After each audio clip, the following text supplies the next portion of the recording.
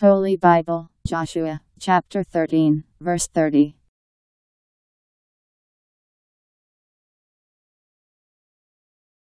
And their limit was from Mahanaim, all Bashan, all the kingdom of Og, king of Bashan, and all Havvoth-Jair, in Bashan, sixty towns.